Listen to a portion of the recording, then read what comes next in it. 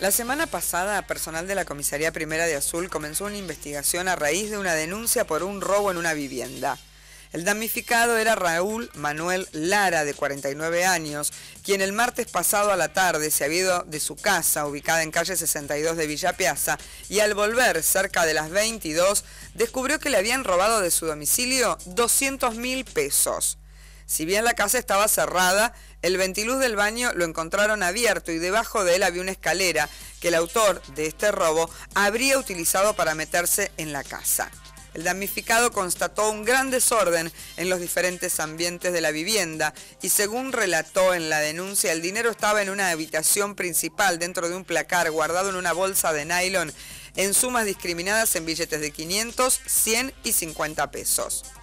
En la denuncia, la víctima del hecho aportó algunos datos que están relacionados a una operación comercial que él había realizado, con quien ahora estaría sospechado de haberle robado el dinero.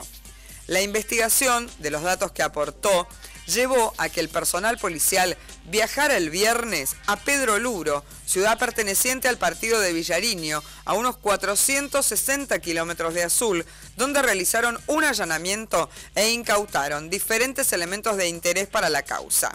En el allanamiento se incautó documentación de una pickup Toyota Hilux propiedad de una mujer, una chequera del Banco Provincia con tres cheques, varios teléfonos celulares y otros elementos como una importante cantidad de dinero, una computadora portátil, vainas servidas y cajas que contenían municiones.